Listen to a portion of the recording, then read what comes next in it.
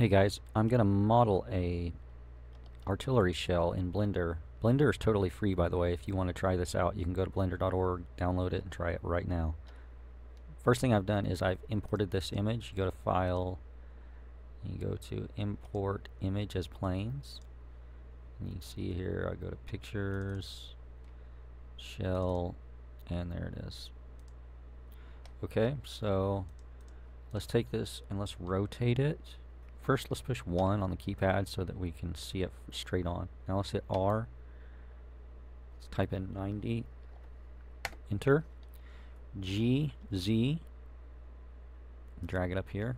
Actually, that's too far. Zoom in a little bit. Let's go G and drag it about right there. Okay, I'm going to model it using an extrusion method, which isn't the best method for this, but it'll be fun to watch probably. So first thing I'm going to do is I'm going to go Shift A, and I'm going to add a cylinder. I'm going to scale it way down to match that first ring. Now I'm going to go scale, and I'm going to strain it to the Z axis by pushing Z, and I'll squish it like this. I'll go grab Z, and I'll put it right there. Let's go right front on again like that. Alright, that just about gets that first one. So let's hit tab to go into edit mode. Unselect it, hold alt, select the bottom ring, hit E. oops, Actually, let's delete this first face first. Let's go into face mode by clicking right there. And let's see, Alt A, or see what selects everything. I can't remember.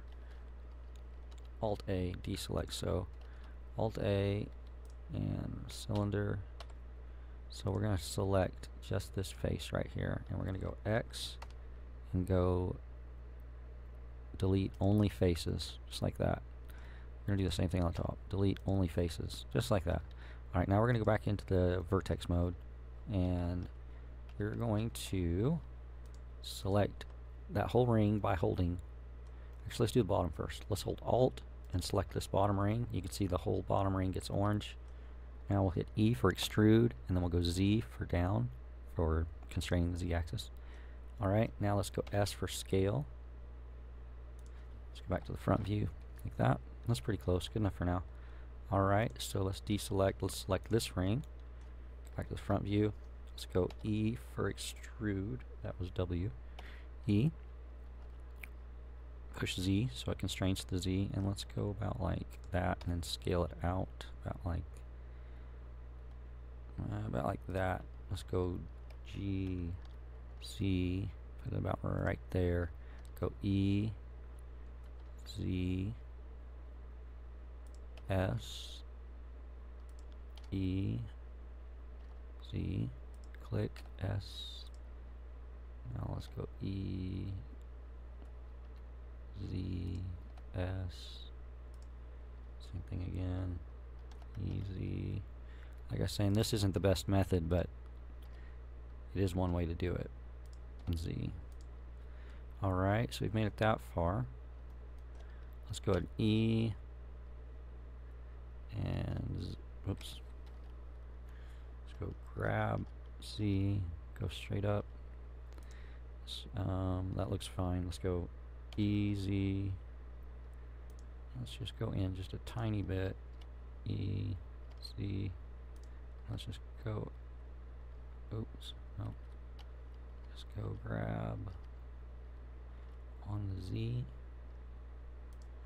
and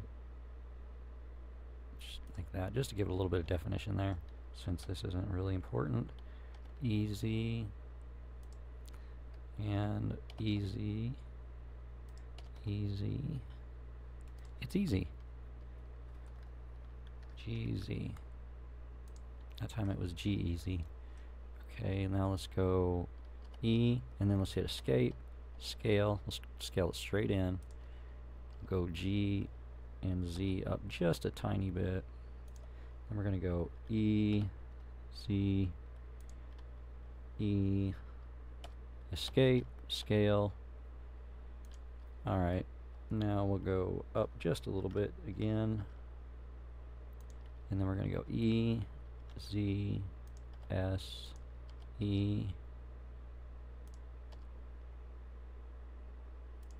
S E. Oops. Now I have to go G, Z, S. And same thing. E, Z, S.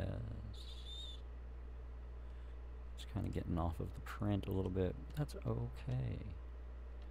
I might 3D print one of these. I probably won't do anything with it. Actually, I'll probably show you the, better way to model this. Let's turn this light off. And camera. Okay. So now we'll go E, Z, come all the way up here. Z, scale, S for scale, I mean. Uh, actually, let's go G, oops. Let's go G, Z, put that about halfway and scale it back up. And then we'll go E, Z, scale, almost there. E, Z, scale, E, Z, E, um, I need to go G, oops, what we got going on here? Why is it turning out a lid? Oh well, that's okay. Alt. Let's go scale it in just a little bit. Grab it by Z a little bit. Go E, Z, and we'll go E for extrude, escape, scale it out right there. Oops. Just like this. Let's go back to the front view. Go E, Z, oops. Let's go scale in like that. Let's do it two more times. E, Z, scale, E, Z, scale. Alright. There it is. Neato. Um, let's cap off this bottom now. We'll go Alt, like that. Select that ring, hit F. Yeah, puts a face on it. Alright, there it is. Cool, let's um, turn off this. Let's give it um, turn on a light so we can see. There we go. You see all those ridges? That's why I say it's not the best way to model it that way, but still, I mean, it, it, it works. Let's put a material on it. Let's put, uh, let's just use something out of the sample materials. We'll put anodized. Let's make it like it's anodized aluminum. So we're going to go to cylinder, new material, anodized, apply to selected. There you go. Um, we could go to right here and make it more of a copper color. Alright, let's go to the camera. Alright, let's go to this light and let's let's make this light. This is kind of neat. Watch as I move this light. Ready? See how it changes the scene? Let's put it right above it. In fact, let's put it right on top of it like this so it gets really bright at the tip. And then let's go to the wattage of the light and turn it down. Okay. So from the camera's point of view, that's what it should look like. Let's um, let's take our scene and scale it up like that so we don't have any blank spots. And then let's go ahead and hit save. Might as well. Shell 1, save. Let's hit F12 and we'll render it out. Oops, close that. Let's uh, turn this thing off in the render by clicking on those right there. Alright, so now if we hit F12 and there it begins to render out. It'll take a while to render out. Um, I don't know exactly how long. Maybe it's already done, really. Let's do it from a different angle. Let's open, open another canvas here. And let's take our camera. Let's grab our camera.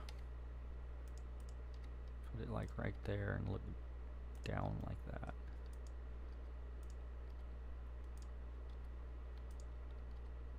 Rotate around the Z like that. Let's look at it. Alright. Alright, just like that. Now let's take our light and let's just blare that sucker out like that. My graphics card is struggling because I'm recording this while I'm while I'm modeling it, so that's why all the tearing is involved. So that's why you're seeing some weird artifacts there, but um actually there's probably other reasons. The the main the, the thing that would fix it the best, get all rid of all these ridges is to model it using a revolve modifier or as if it was a turning. So basically what I'll do is I'll just draw the profile and I'll spin it around the axis and it'll be a turning then instead of an extrusion. But I thought you might think that was fun. I hope you enjoyed. See you later.